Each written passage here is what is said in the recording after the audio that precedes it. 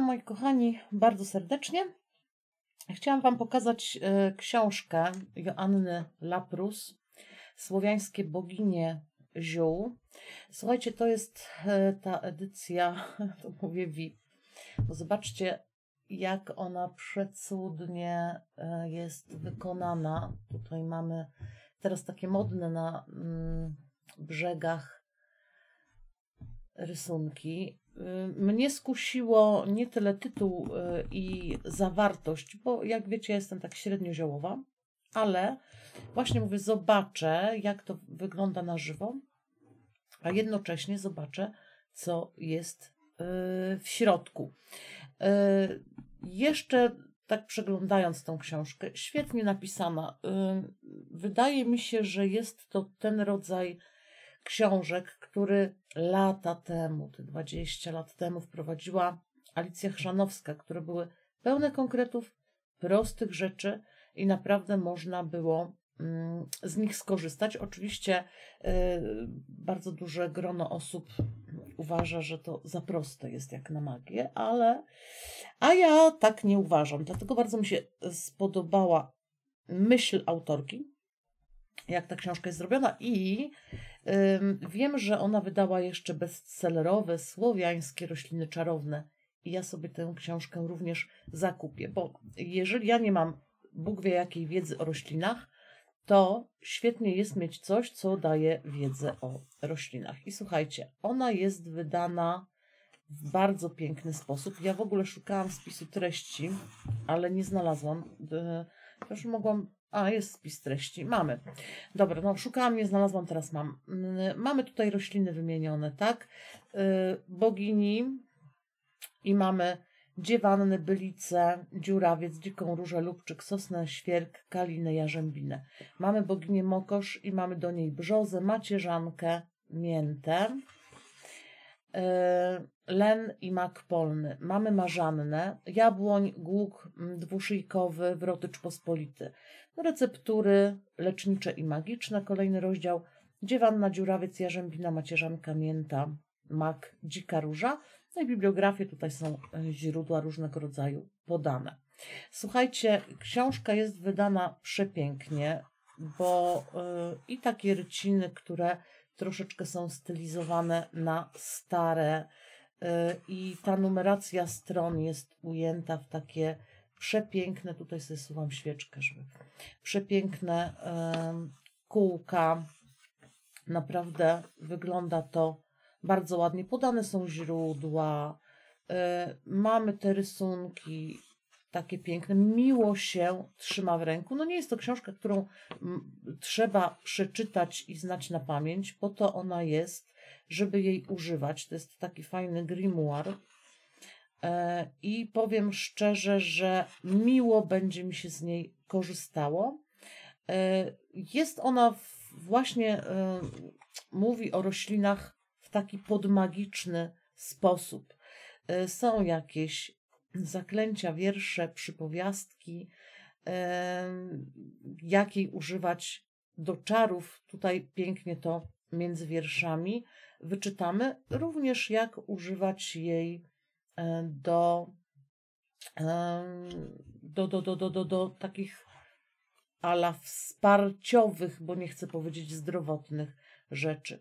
Zobaczcie, zioła i rośliny wszelkie bogini dziewannie poświęcone. To są te trzy boginie.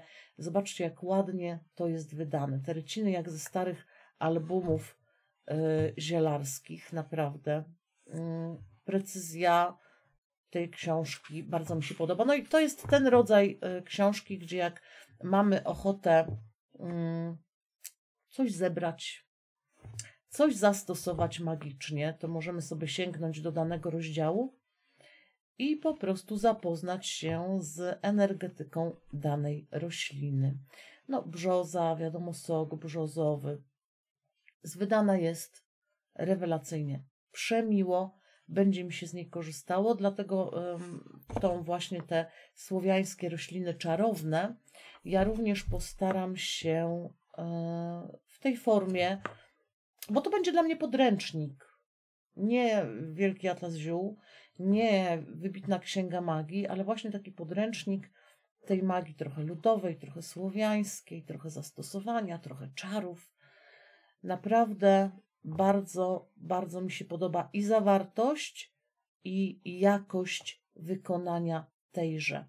Jest po prostu przeurocza, przepiękna, przecudna yy, i wartościowa w środku. Dużo fajnej, yy, wyciągniętej z przedwieków wiedzy.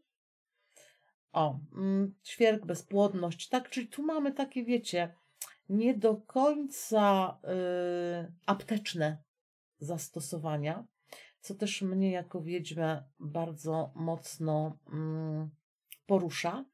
I mało tego, nie są to jakieś zioła, wiecie, wymyślne, y, oprócz tego, że tam, wiecie, tam o, zbieramy o północy, la, la, la. No bo tradycja ludowa o pewnych rzeczach mówi, ale nie są to wymyślne zioła, których ciężko znaleźć człowiek nie rozróżni. To będzie kalina, co? Czy jarzębina? Zaraz zobaczymy. Rosa, kanina. Także y, warte polecenia. Jeżeli jesteście zielonymi wiedźmami, to fajnie jest mieć w swojej biblioteczce. No i oczywiście jeszcze piękne boginie. Tutaj chyba na końcu przy notce o autorce właśnie te trzy boginie.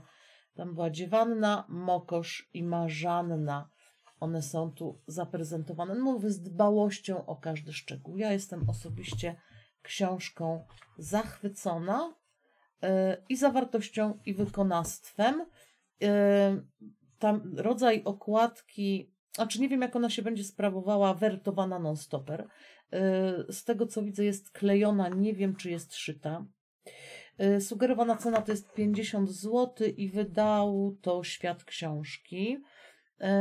Ale naprawdę powiem Wam takie kompedium, fajnie ujęta wiedza o roślinach. Na początku były trzy, trzy boginie. Ta, która stwarza, ta, która nagradza i ta, która przemienia. Biała, czerwona i czarna. Biała, dziewczyna, przynosi światło. Jest początkiem i nowym życiem. Czerwona, matka, to kreacja i pełnia i czarna starucha, która spycha nas w mrok, byśmy mogły się odrodzić. Na początku były trzy, a tak naprawdę jedna. Trójbogini wpisana w koło życia. E, a Joanna Laprus, wydawczyni, redaktorka naczelna wydawnictwa Świat Książki. No proszę bardzo, czyli jakby gdyby e, osoba siedząca w branży wiedziała, co robi. Przepiękne, ja jestem przezachwycona. Także jeżeli macie ochotę na zakup takiej książki w wersji zwyczajnej bądź nadzwyczajnej, to ja ze swojej magicznej strony mogę serdecznie polecić. Buziakuję Was bardzo mocno. Do zobaczenia w kolejnych filmach.